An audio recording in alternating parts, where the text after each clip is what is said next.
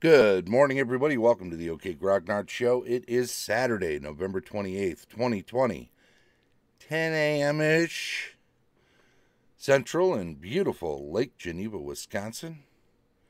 Well, it's Saturday, and it means it's a GM review day. We're going to kind of take an overlook, overview of uh, Excalibur, the 1981 John Boorman movie which uh, I think most gamers are probably pretty familiar with. I just recently watched a uh, recently watched a documentary which I posted in the Facebook group about let me read what I wrote there. I'd been fishing around to find and watch Beyond Behind the Sword in the Stone 2013. What I found on Amazon was under the name Excalibur Behind the Movie 2020.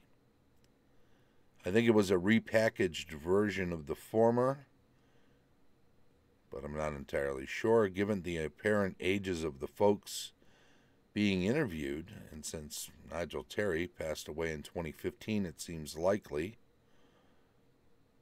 that this was a repackaged form of that previous documentary.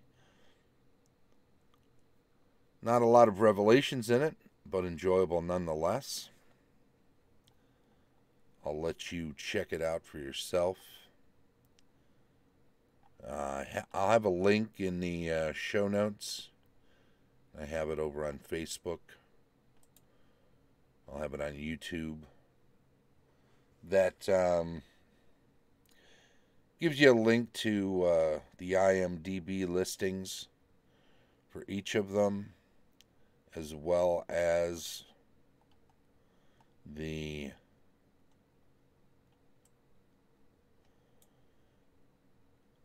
Amazon Prime link to uh, do the documentary, although it's in the BBC Masterpiece section. So if you don't have that premium section of Prime, you won't be able to get to it. Um, if you haven't used that before, you can always grab a seven day free trial of it, which I did just to uh, check out that documentary and a few other things. I checked out uh, a Laurie series, mini series. Maybe it's going to continue. It's uh, called Roadkill. This contemporary British political drama of a upper echelon minister who rises even higher. It's I say it's contemporary, it's visually contemporary, but it doesn't use any real politicians' names and they aren't meant to be mirror images. The characters, the main characters, are not meant to be mirror images of any particular politicians. Just sort of a generalized view of them.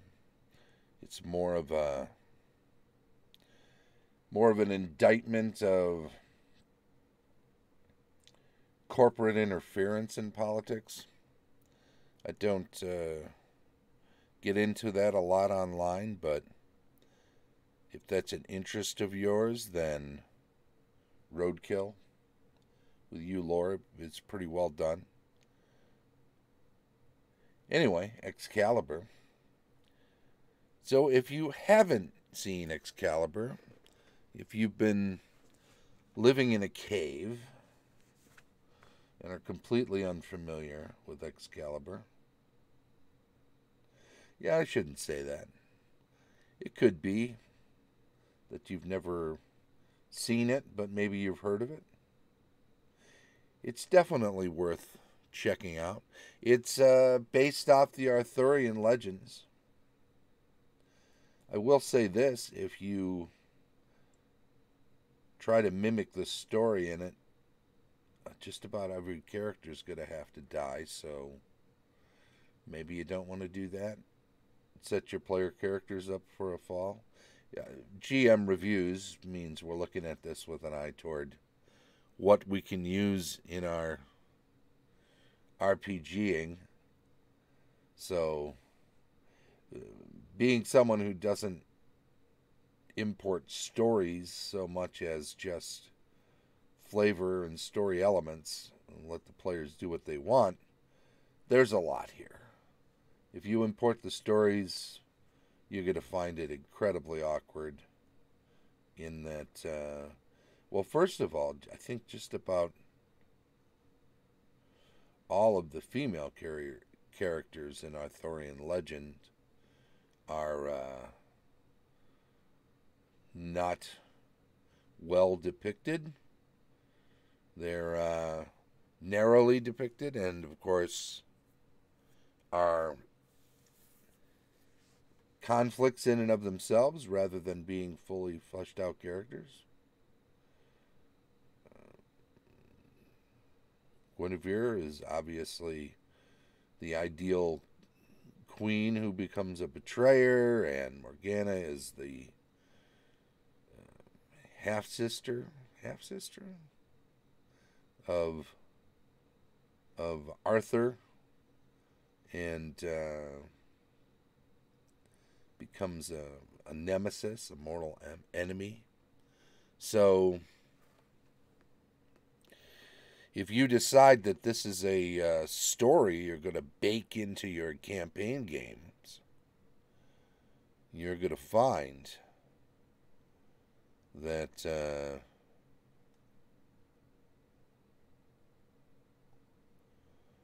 there's not a lot of room for female characters. And obviously, it's Western European, so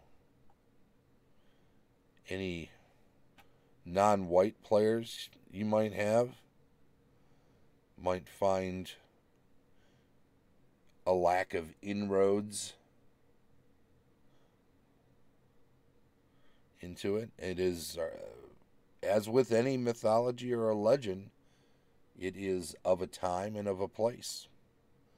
And no matter where you grab that sort of material from, you're going to find that it's. Uh, mainly accessible to individuals that have that background and it won't uh, won't carry over very easily so be careful of that however if we keep in mind that D&D is often set up in uh, to uh, mimic or mirror Western European medieval tropes.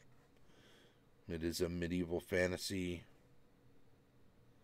game, after all, and is written to that milieu. Then we have to assume you know that with your eyes open going in. So what is what is the sort of material you can grab from it? Well, there's a a feeling to it, if you will. Um, I yanked a quote out of the documentary from Cherie Lunghi, if I'm pronouncing that right, who played Guinevere in Excalibur. And she says, Is it old fashioned given the technology we have now? I think its old fashionedness technologically is a part of its charm. It's like a hand painted storybook as opposed to a sort of modern contemporary sort of storybook. The illustration of it, the visuals of it match the subject, actually. they have a feeling of the like uh, illuminated texts of the monks has a, a sort of real hand painted feel to it, I think. She says, maybe not the best quote to grab, but it, uh, I think it captures really the point of why you might want to view this movie for with an eye toward what you can pick up and carry into uh, into a game. Absolutely. The first third of the movie and the last quarter of the movie are very dark and very gritty. Before Camelot is founded, well, he's. Uh, before he becomes king, before Arthur becomes king, the place is a muck hole. I mean, everybody's fighting all the time, everybody's constantly warring with one another. There is no doubt that uh, the main populace is eking out a living constantly in fear of their lives. There are knights and battles and sieges happening all around people all the time. Nobody's content with what they have. And there's a lot of bloodshed. And because of this, you have to extrapolate that uh, the hardships upon just normal individuals have to be great. And I think uh, I think it's true that there's a dual directionality to uh, such a situation. It's not a one-way street. Um, when those that have power, military power, whatever, are are uh, constantly at odds with one another, and when that ripples out to the general populace, such that uh, people are being uh, killed or their lives are becoming more dangerous, hardships are increased because of the constant war and fighting. That bounces back too. I mean, these are the people that are growing the food and creating the civilization that is meant to spread out from those people in power. And that bounces back. If they can't, if there aren't enough of them because of uh, death due to war, being conscripted into armies, diseases, and all of the things that go with that, uh, if there aren't enough people to make enough food for everybody, then that bounces back in the other direction.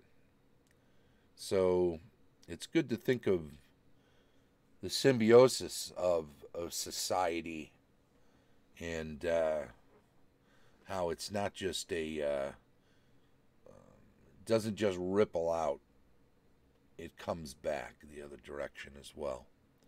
So keep that in mind when you're creating a gritty, nasty setting, what effects it has not only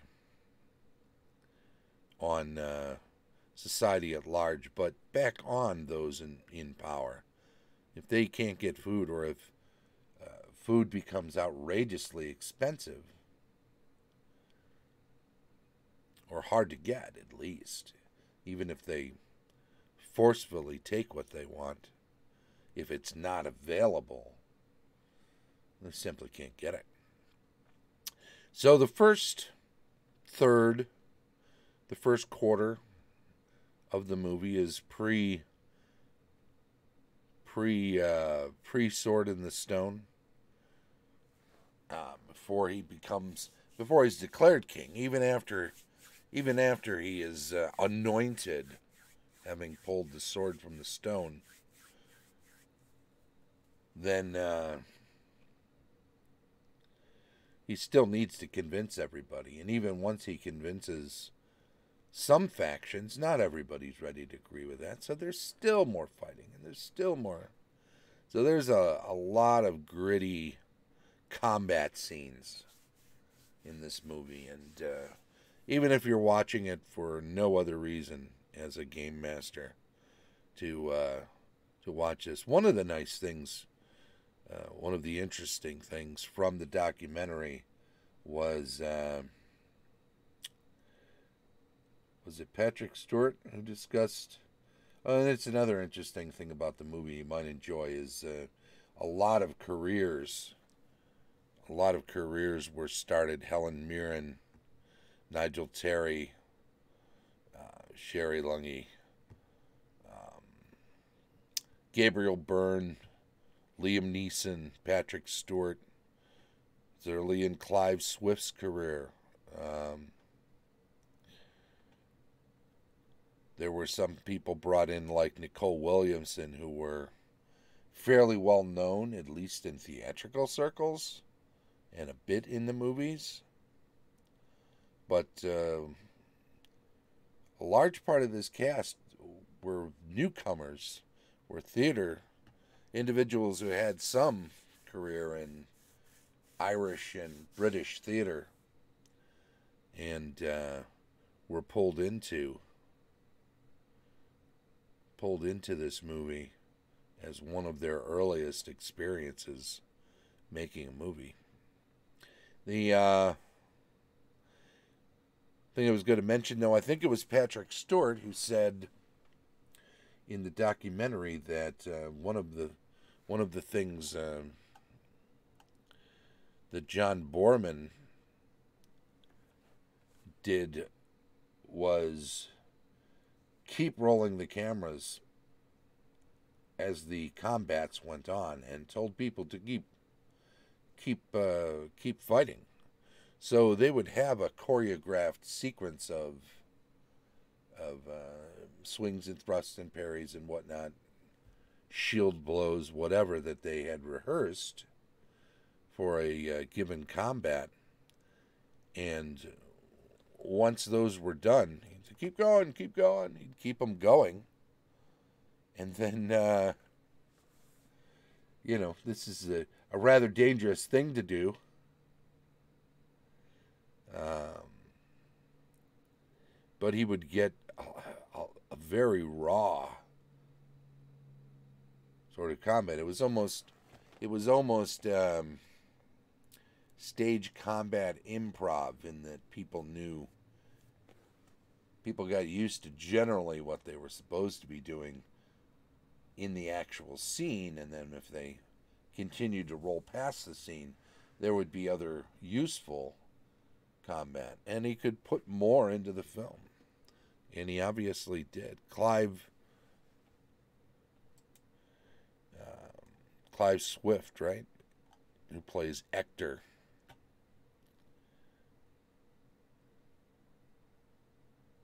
is uh, is quoted in the documentary as saying that uh, at one point during a combat scene there were some arrow shafts coming past him very closely. And he went to uh, almost hit his horse because there's a lot of mounted combat in this too, which uh, I, I think there's probably a lot more in this than in, in a lot of other movies that try to depict Arthurian legend or or any medieval fantasy or medieval period. There's a lot of mounted combat in this. In any event, some arrows shoot past uh, where his horse is, and he he um, he mentions it to John Boorman. Of course, he doesn't know if this is an accident or whatever, and apparently it wasn't because Boorman said, "Oh, you know, something on the order of, don't worry about it. It's not that dangerous. Just get back in there." which, you know, if you're a uh, young actor and you're in a one of your earliest movies, suck it up, Buttercup, right? You just kind of uh, you kind of jump back in and do your job at that point. This is um, 1981. It comes out, so this is the late 70s, 1980 maybe that they're putting this all together, and it's a big budget production, and uh, not a lot in Britain had been done. This is, you know, like big Hollywood production, right? Not a lot had been done over there. They had thought about scouted some locations in Europe and then decided, you know, it's the looks just wrong. It's got to be done in in England. In Britain, I should say. And uh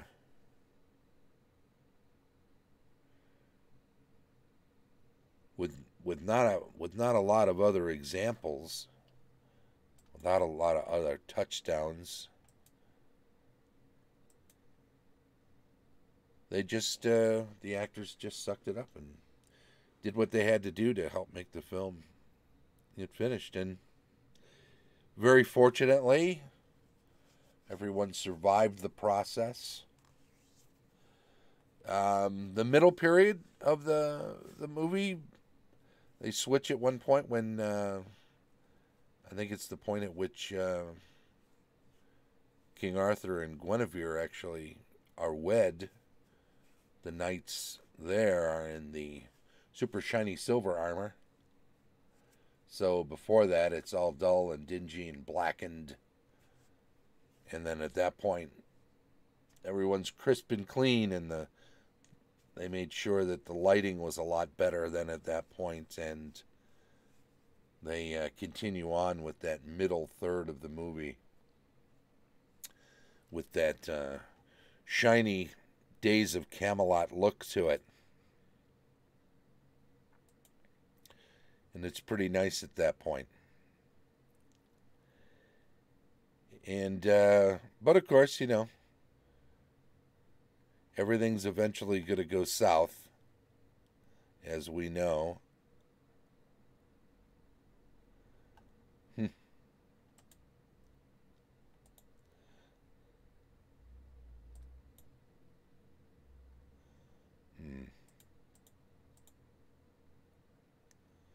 There we go.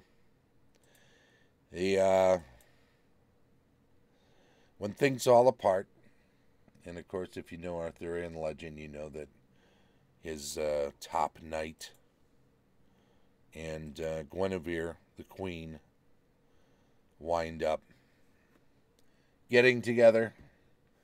And of course, that's the beginning of the end when that transgression happens. So must Camelot fall. And, uh, as he falls into a depression and King Arthur no longer cares about the kingdom, it becomes apparent something big has to happen to save everything. And of course, at this point, Merlin has been receding. Merlin, who's been the big advisor and the steerer of uh, events, uh, has been receding into the background, allowing the Age of Men to take over. But Morgana, who is also a is a sorceress who uses magic, uh, has a son by Arthur, even though she is his half sister. And uh, between her evil and meddling, and then the bringing up her son, raising her son to hate Camelot, and then they recruit an array of uh, knights to ride in opposition, huge battles, more pestilence. Well, the search for the Holy Grail happens in that last third because this is going to save the save the land, save Camelot, save King Arthur, and uh, that whole quest is then depicts once again that the land has been becoming ridden, uh, ridden in pestilence and famine and plague, and everything is reverting to the kind of chaos that we saw before King Arthur's rise. Well, if you don't know the story, I won't spoil it any further. But it is to say, depending on uh, how pristine or how gritty, or if you want to have uh, both in your campaign setting, then by all means, this movie has examples of a lot of different stuff. Costumes are gorgeous. Uh, scenes that happen within the castles and at festivals and whatnot are great examples, both in the costuming and the uh, production values and what you'll see in uh, tapestries and um, they use a lot of natural lighting in this candles and torches and whatever daylight they can get. They don't use a lot of uh, movie lighting, so it was difficult for them to film, but also helps us to see things in a way. I think uh, by looking at this movie that seems more natural and might be easier to pick up and describe. Um, so all of that, I think, makes this well worth watching. One of my favorite films growing up. Um, growing up. Happened in 81, so, you know, I was already in my late teens. Very late teens. But there wasn't a lot, you know, uh, between this and uh, the first Conan movie and uh, Dragon Slayer and a number of others that we should probably bring onto the show at some point. Um, the, these were the kind of movies that uh, were influential at the time in uh, for anybody who was playing advanced Dungeons and Dragons or running uh, any kind of Dungeons and Dragons games. So, if you want to get a sense of the period of the gaming period and know what sort of influences there were then, this is good for sure. Definitely watch this as usual, most of what I do on GM reviews is to recommend things, not to tear things apart. So there's a few things I have uh, reservations about with this or anything.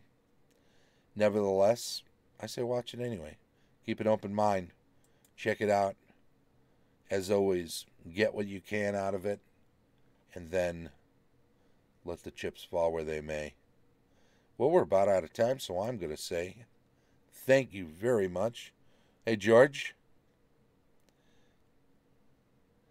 George, is Excalibur something you've not watched before?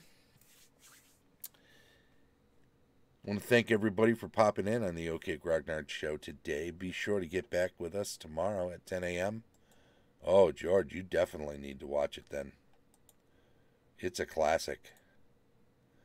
10 a.m. tomorrow for rules retrospective. Not sure what we're going to look at yet. Kind of keeping an open mind. Weekly news and announcements on Monday, cartography and world building on Tuesday, campaign discussion on Wednesday, GMing tips on Thursday, building adventures on Friday, then back around the horn. More GM reviews next week. If you're catching up with this on YouTube, thank you very much. Please do subscribe to the channel. Give us a thumbs up on any videos that you watch and enjoy. And, uh, you know, feel free to make comments. Constructive criticism is always helpful, as are encouraging words and attaboys and pats on the back. This has been the OK Grognard Show from beautiful Lake Geneva, Wisconsin. Bye bye.